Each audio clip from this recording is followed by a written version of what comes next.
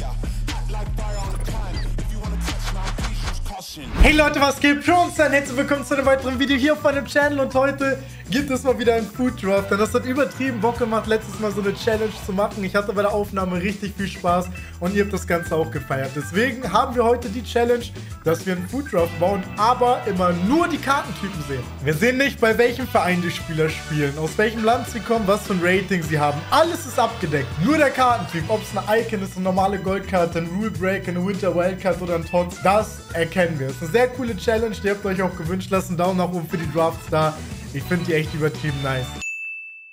Okay, dann können wir auch schon reingehen in das Draft. Ihr meintet auch, ich soll ein paar mehr Matches machen. Letztes Mal haben wir eine Partie mit dem Team gespielt. Ich dachte, das reicht.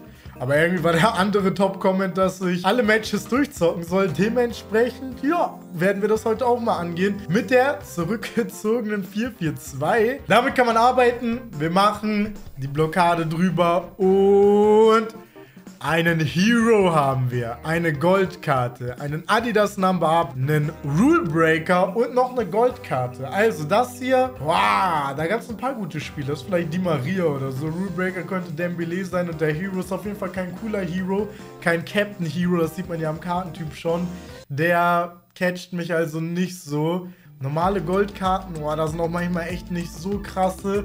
Deswegen, ich würde tatsächlich mit dem Adidas Numbers abgehen, weil die inzwischen ein neues Upgrade bekommen haben. Alle eigentlich relativ nice aussehen. Und wenn das Joao oder Di Maria ist, haben wir sogar einen 5-Sterne-Skiller. Und es ist Angel Di Maria, 99 Tempo der inzwischen. Ja, Mann, wenn ich mir die Karte angucke, dann gefällt mir die auf jeden Fall auf der rechten Seite. Der Bruder wird mitgenommen. Und wir kommen zur nächsten Auswahl. Ich hoffe, wir sind wieder ein paar frische Spieler mit dabei. Alles verschiedene Sachen. Tots, Food, äh, Fantasy, Adidas Numbers Up, Future Star und Europa League Karte. Boah. Ja, jetzt wäre interessant zu wissen, wer irgendwie aus der französischen Liga kommt. Ein französisches Liga-Tots kam noch nicht. Also der wird nicht aus der französischen Liga kommen. Das ist, glaube ich, Neuhaus, oder? Wer, ich glaube, der war der einzige ZDM, kann das sein in der Promo? Ein Future Star. Der könnte aus der französischen Liga sein, aber könnte auch nicht. Also wir wissen es ja nicht. Aber ich nehme den Future Star mit. Oh mein Gott! Ich wusste, dass das die Promo ist, wo die Chance am größten ist. Oh mein Gott. Okay, das ist nice. Das ist übertrieben nice. Und dann gehen wir auf den Stürmer. Gucken, was hier so geht. Jo! Ein Rare zwischen den ganzen Non-Rares. Ja, dann nehme ich den Bruder mit. Castillo. Was ist das denn für eine Krampfauswahl? Ich hoffe, der andere Stürmer wird besser. Icon oder so. Hm, ist das der Man of the Match oder was hier am Anfang? Hä? Lukaku hat eine Man of the Match Karte. Ich weiß nicht, welcher Stürmer sonst. Winter Wildcard. Wen gab es am Sturm? Alessandrini zum Beispiel. Er ist zumindest Franzose. Wie soll man den sonst linken? Bei den Informs ist vielleicht ein Mbappé dabei. Aber es gibt halt auch 10 Millionen andere Informs. Ich nehme die Winter Wildcard mit. Auf gut Glück. Oh, oh. Die Baller gibt es noch als Man of the Match. Auber und Immobile. Boah, Taremi ist ehrlich jetzt kein so fresher Pick. Iran und portugiesische Liga ist so schwer, da irgendwelche Links zu kriegen. Aber wir schauen einfach mal. Weiter. Nächste Position. Komm, wo bleibt die Icon? Ah, ganz viele Infos und ein to Watch. Im linken Mittelfeld gibt es aber auch keine guten to Watch Karten, oder? Mir fällt nur dieser eine Spanier ein aus der Premier League.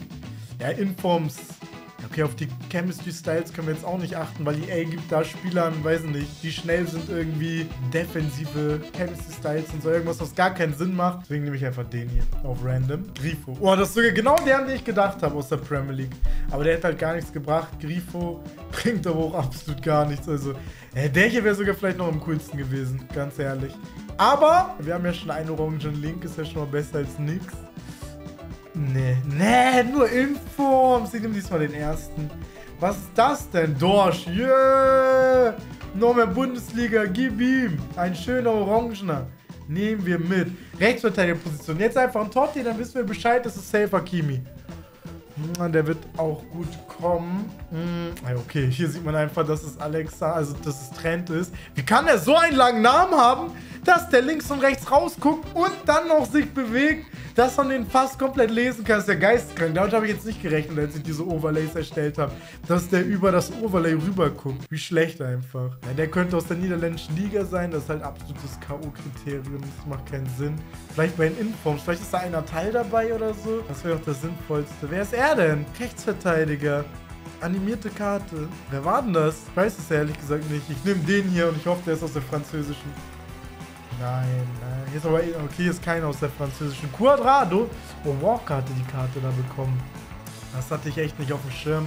Aber keiner hätte geholfen. Alles gut, alles gut. Jetzt haben wir auch noch Serie A drin. Es ist so schwer, hier irgendwie auf Chemie zu kommen. Es ist überhaupt schwer, die besten Spieler aus jeder Auswahl zu nehmen. Weil man halt gar keinen Plan hat. Junge, was, was... Nee, weiß ich nicht, welche Karten bei der Promo und der Innenverteidigung kamen, um ehrlich zu sein. Ich nehme den Bruder hier. Oder? Nicht den Bruder? Nee, keine Ahnung. Rüdiger. Deutsch. Uh, den können wir rüberschieben zu Dorsch. Und das werden wir auch gleich tun, wenn wir den anderen in Verteidiger haben. Gib mal ein Icon, bitte.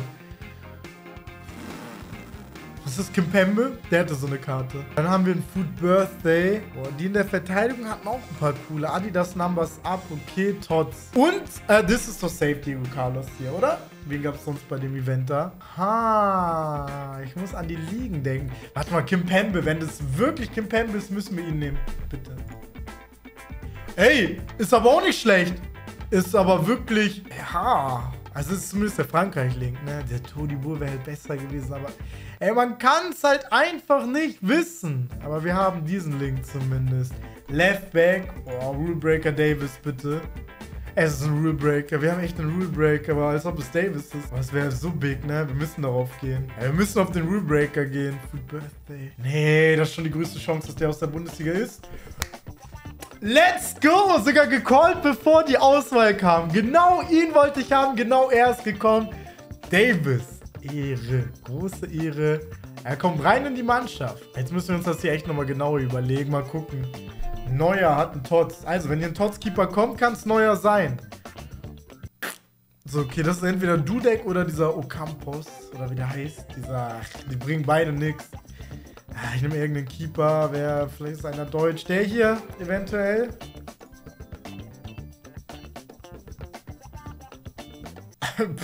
okay. Scheiße, ich glaube, irgendwann denkt, ich schummel oder so. Hä? What the fuck? Das war ja richtig lucky. Das war ja richtig lucky. Okay, das ist krass. Gehen wir weiter. Haben wir überhaupt einen Tots, haben wir diesen ZDM, ne? Wen gab es hier noch? Joao gab es hier noch. Aber die meisten Numbers abkarten waren nicht so geil. Rule Breaker, ist oft Dembele, wenn Rule Breaker aufploppt. Ich nehme den Tots, weil das halt auch Bundesliga Tots ist inzwischen draußen. Die Chance ist groß. No. Mitchell. Scheiße.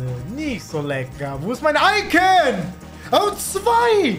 Nein, wahrscheinlich ist einer offensiv, einer defensiv. Was will ich überhaupt? Digga, meine beiden Stürmer, ich brauche einen offensiven. Ich nehme den hier. Nein, nein, um Gottes Willen. Um Gottes... Nein, warte mal. Nein, nein, ich Idiot. Man konnte... Warte mal, ich muss das nochmal aufmachen.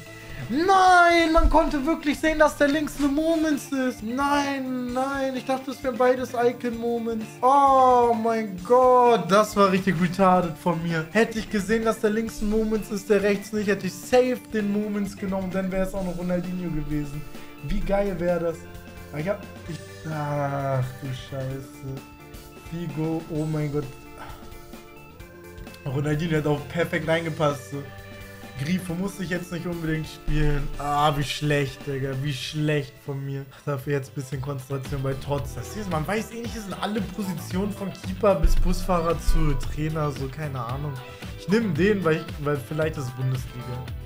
Oh, es ist Bundesliga. Ja, ich meinte noch, Adidas Namas ist oft Joao und Rulebreaker ist oft Dembele und jetzt ist es halt wirklich die. Also man sieht, äh, ich habe keine Scheiße gelabert. Warte mal! Das ist big. Ah, Rechtsverteidiger. Wobei, der ist auch auf 7. Hey, wir müssen doch nur die beiden Stürmer jetzt austauschen gegen Leute, die gerade auslaufen können. Und dann ist doch alles gut. Dann ist doch alles gut. Oh, no. Okay, ja, klar nehme ich den Inform, wenn hier nur drei Non-Rares, ein Rare und ein Inform ist. Hey, warte mal. Bundesliga und schnell? Fühle ich jetzt nicht so schlecht. Fühle ich jetzt nicht so schlecht. So. Gleich haben wir nur noch die Bank. Ein Hero. Aber ist kein guter Hero. Sieht man ja, dass es noch. Das, wobei es könnte so ein Ginola sein oder die Natale. Die, die werden beide nicht reinpassen. Dann scheiß doch. Ich nehme Rule Breaker, vielleicht passt der rein. Ricken. Ah!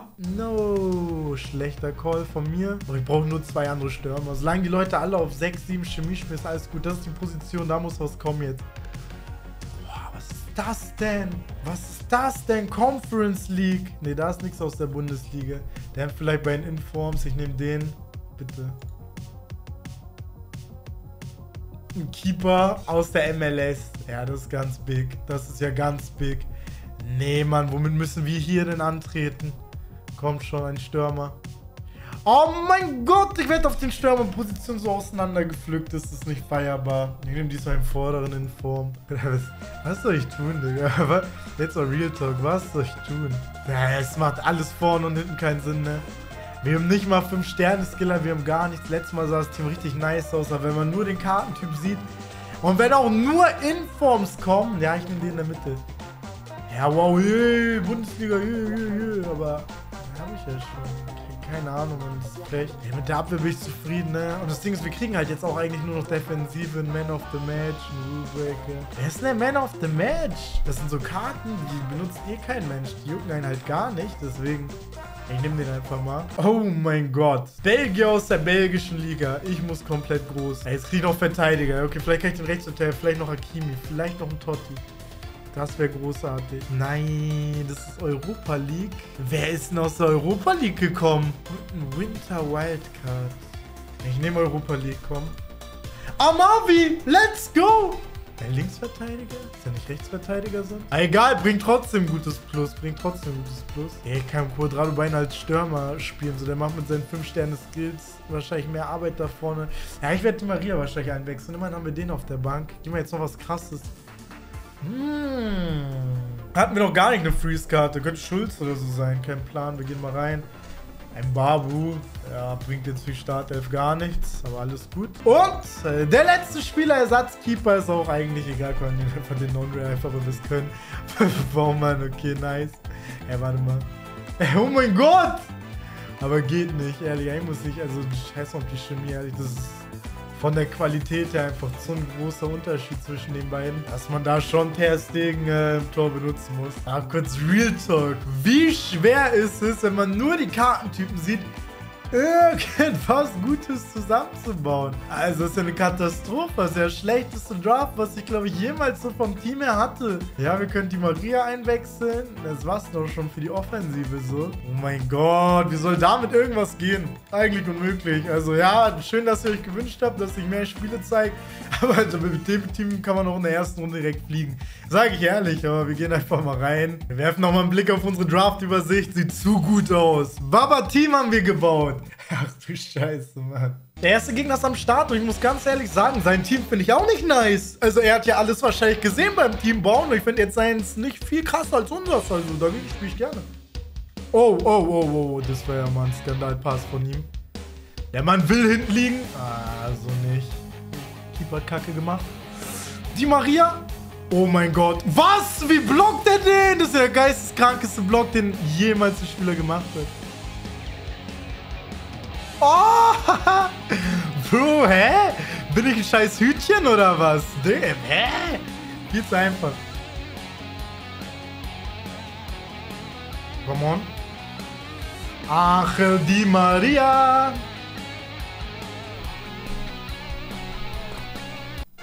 Habt ihr das gesehen gerade? Er ist bei 1-1 rausgegangen. Oh mein Gott. Oh mein Gott. Bei 1-1! Es ist zu krank, diese FIFA-Community. Sie ist einfach zu krank. Sie ist zu... Ach, Mann, bitte, ich muss groß. Okay. Ja, wir starten wieder mit dem ersten Game. Sinnlos. Sinnlos. Der... Ach, der... Ich check das nicht. Check das einfach nicht. So. Also den hätten wir auf jeden Fall gepackt. Bitte einfach, bitte. Er hat gar nicht gegönnt. Okay, das ist der neue Gegner. Drei Non-Rares. Was ist das denn? Wie schlecht sind denn die Drafts, die man momentan kriegt? Hä, ist ja richtig geil. Dann ist unser Team vielleicht gar nicht mal so kacke, wenn jeder so ein Team hat. No. Ja. ja. Ja. Jo. Nochmal Jo. Und 1-0 auf jeden Fall. Ja. Ja, Figo macht seinen Job da. Lauf, Figo. Lauf, Bruder. Lauf. Figo, warum stolperst du da so? Davis. Ab dafür Angel Di Maria. Junge, was hat der für einen Antritt? Guck mal Davis an. Wir mitrennen. Mit wie viel Tempo? Alfonso! Geisteskranke Aktion von ihm. Davis, my man. Da ist Davis wieder. Habe ich eigentlich schon irgendwo erwähnt, dass ich die letzten Tage mit Davis ein Video zusammen aufgenommen habe?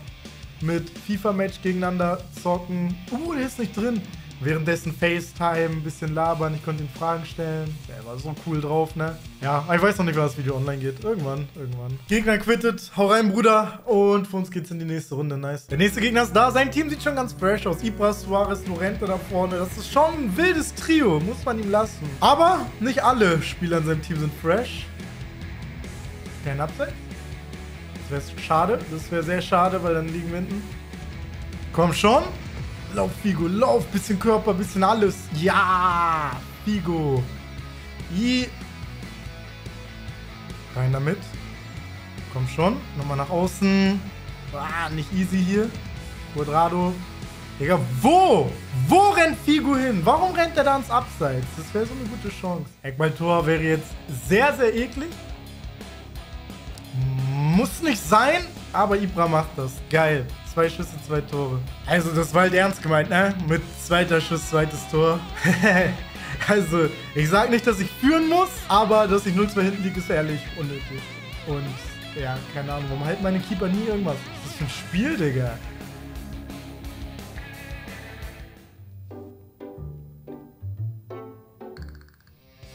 Hm. Vielleicht eine Chance. Quadrado. Ja, aber es ist ein bisschen spät. Come on, guys. Oh mein Gott, die Grätsche war Weltklasse von ihm. Bisschen Glück gehabt hier. Erstmal raus. Dann rein.